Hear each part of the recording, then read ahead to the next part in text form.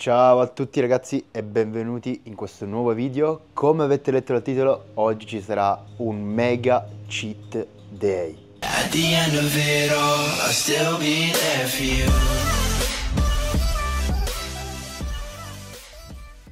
Da quanto aspettavo questo momento ragazzi, finalmente posso dire che anch'io posso fare un cheat day. Sarà un cheat day tra virgolette molto controllato perché ovviamente io stesso non voglio andare a compromettere i miei risultati, ma non mi piace assolutamente andare a fare i classici cheat day da 20.000, 30.000, 40.000 calorie, perché secondo me non ha assolutamente nessun senso.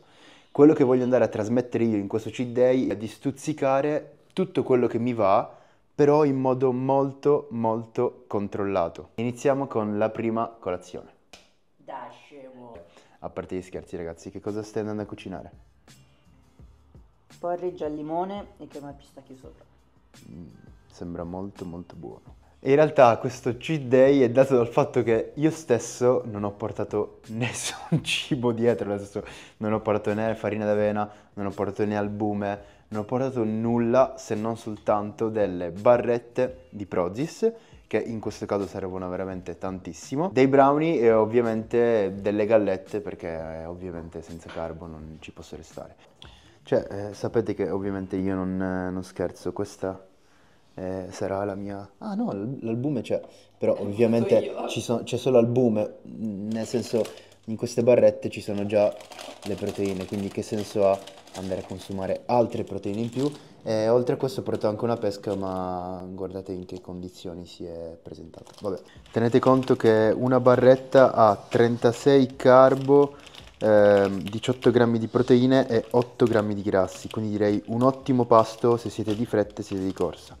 Quindi due barrette equivalgono praticamente a un pasto completo e poi mi andrò a fare questo brownie e ovviamente sotto consiglio di Fra andrò a mangiarmi questa, questa pesca. Andrò a mettere questa parte un po' deteriorata ma il resto andrò a mangiarlo comunque.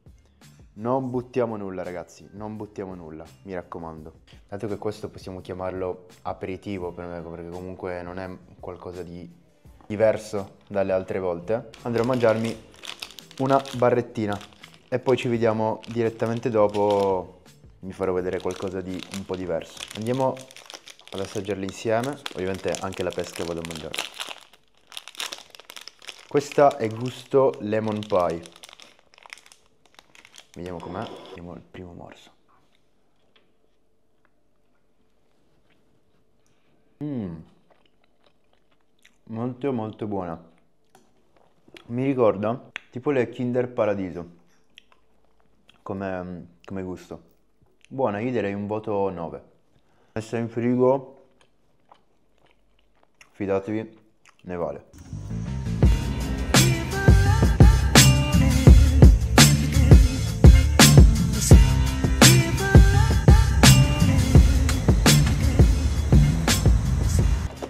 Ovviamente dato che ci stiamo spostando di nuovo verso Malaga dobbiamo portarci valigie e zaino appresso. Infatti la situazione è questa, entrambi siamo devastati, ma ce la faremo. Per chi non lo sapesse o comunque chi non avesse seguito i video precedenti, ci troviamo a Ronda, che è una località che dista circa due ore da Malaga. Può dire che all'inizio era molto sottovalutata, ma facendoci dei vari giretti qui per il posto abbiamo in realtà cambiato idea perché è molto molto molto bella. Molto comunque caratteristica eh, come vedete molte strade comunque molte parti della, della città sono antiche. Infatti adesso vi farò vedere comunque qualcosina se vi siete persi i video scorsi. In ogni caso il mio consiglio è quello di andare a recuperare quindi mi raccomando se non ho ancora visto i video precedenti vagli a vedere. Prima tappa che andremo a provare oggi sarà un Khorasan che non è il classico che vedi dappertutto si trova anche a Malaga, non so in altre destinazioni dove si trovi, ma è molto molto buono. Almeno visivamente sembra molto buono. Unica pecca, te lo vanno a schiacciare completamente. Ragazzi vi ho chiesto, forse ce l'abbiamo fatta. Abbiamo pagato 7,45 euro, ho preso una brioche al pistacchio e un cappuccino in alga.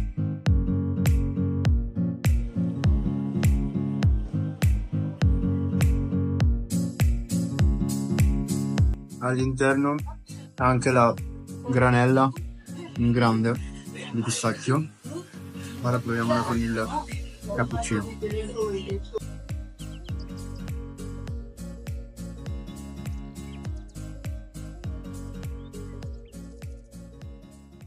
Brioche appena mangiata, se dovessi dare un voto a quella brioche merita un 8,5 9.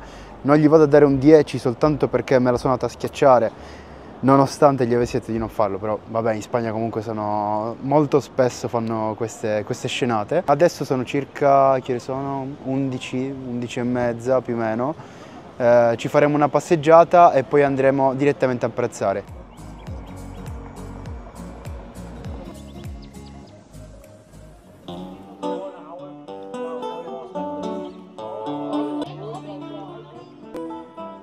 Trovato questo ristorantino che offre un bel po' di cose, ha anche una bella vista, quindi testiamo e vediamo cosa viene fuori. Fail ragazzi, il ristorante è chiuso per davvero, quindi ci tocca cambiare e vedere un altro ristorante.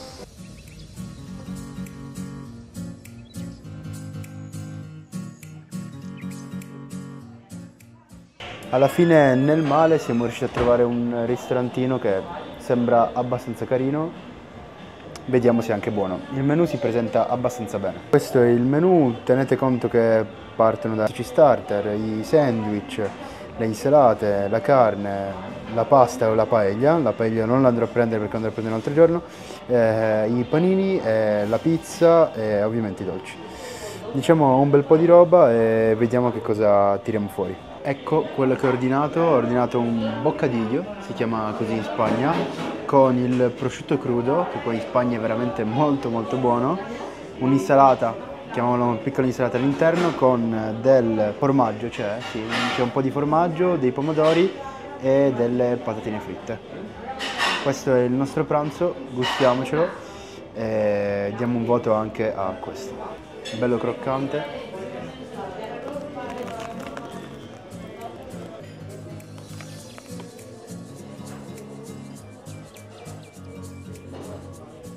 Ok, ci siamo, panino appena mangiato, abbiamo pagato all'incirca 9,50 euro quel panino.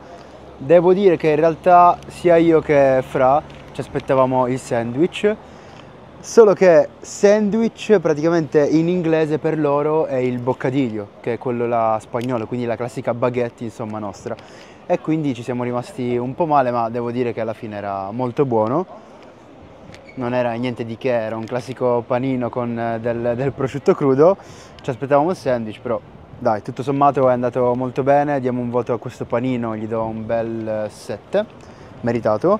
Adesso ci facciamo giusto un altro giretto per la città e poi nel pomeriggio mangeremo qualcosa di un po' diverso, ecco. Molto probabilmente andremo a puntare sul dolce.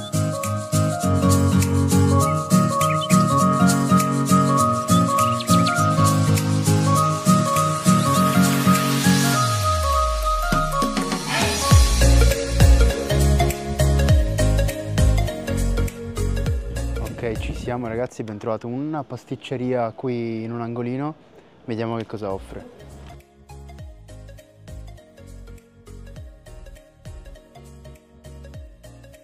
Offre un bel po' di roba, brioche, altri tipi di torta sopra, mille foglie che molto probabilmente andrò a prendere, i biscotti, qui una roba enorme con la panna, altre cose con la panna. Molto probabilmente andrò a prendere qualcosa con la sfoglia, quindi magari qualcosa con la crema pasticcera, una roba del genere.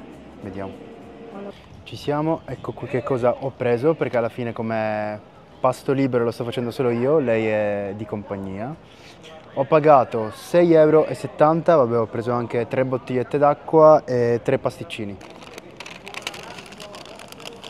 Ecco qui, questa è una mille foglie, che è la mia torta preferita e questi qui sono due biscottini classici, diciamo loro, tipici. Non so da dove partire, partiamo da questo, vediamo, vediamo com'è.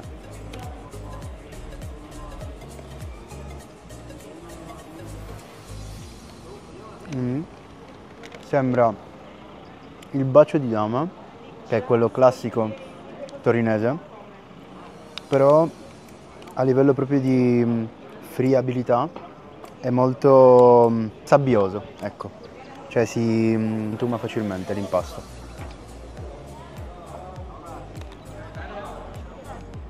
Al cioccolato non è molto presente però è buono comunque. Passiamo ora al secondo, è praticamente identico, solo che sopra ha una base di cioccolato bianco. Vediamo. Anche questo è molto buono. Passiamo ora alla parte migliore, che è la sfoglia. Vediamo. La sfoglia per me resta la migliore. Molto buona, ha la panna all'esterno, non è neanche all'interno, infatti qua si sta sgangherando tutta. Con tipo una crema pasticcera all'interno, non ce n'è tantissima ma è buono, cioè l'impasto è molto buono. Controllatina in bagno, sempre presente ragazzi, direi che pump. Cioè, voi che dite? Se devo dare un voto si meritano un 7 eh, all'incirca non mi hanno fatto proprio impazzire al, al massimo perché avrei preferito magari una cheesecake o una carrot cake, solo che qui i bar e le pasticcerie, raga, sono completamente tutte chiuse, perché comunque in Spagna, sia sabato che domenica, anzi domenica non lavorano proprio, sabato magari vanno a chiudere alle 3 o alle 4, eh, ovviamente qua erano le 4 e mezza, quindi era praticamente tutto chiuso. Eh, quindi nada, adesso ci dirigiamo in stazione perché ritorniamo di nuovo a Malaga e ci aspetteranno i nostri amici, eh, sia spagnoli che inglesi, perché stasera preparatevi, tenetevi pronti perché si va a mangiare qualcosa di diverso dal solito della dieta, quindi anche per questo ho voluto fare questo cheat day oggi.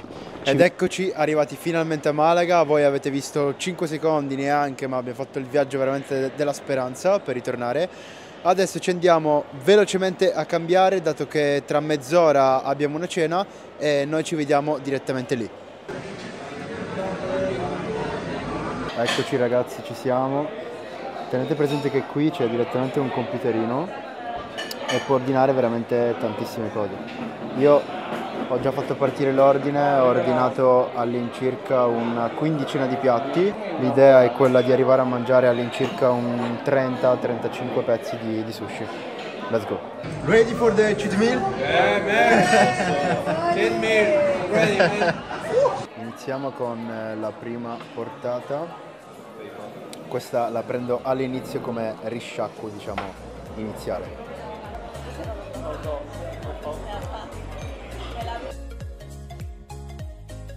Mentre sono anche arrivati i ravioli, questi di carne, poi c'è lì altro sushi al mango, eh, gli edamame, i gamberetti, altre 20.000 cose diverse. Ordini su ordini, quelli anche erano i miei, arriveranno qui al banco a breve. Nonostante abbia mangiato un po' di pezzi, ora è arrivato il momento di fare altri ordini, quindi vediamo che cosa offre la casa. Te amore che cosa sei andata a prendere? l'unica donna che prende insalata al Vabbè, vediamo un po' che cosa, cosa, possiamo prendere ancora. Ecco quelli che mi piacciono di più, raga, sono i nigiri con il salmone. Infatti ne vado a prendere altri. Tenete conto che un piatto è da due, io ne vado a prendere ancora un bel po'. L'idea è quella di arrivare intorno ai 35-40 pezzi massimo.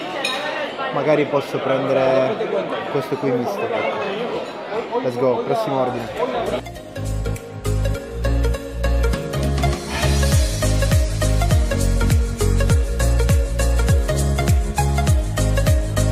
Sono stupiti e ci hanno appena detto che la cucina sta per chiudere, in pratica non vogliono andarci sotto. Quindi let's go, partiamo.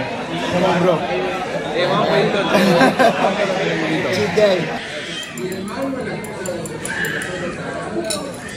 Ed eccoci arrivati finalmente a casa, stiamo veramente morendo di caldo. Qua a Malaga c'è veramente una umidità assurda. Il video può terminare qua, eh, siamo arrivati all'una e mezza di notte, siamo entrambi distrutti.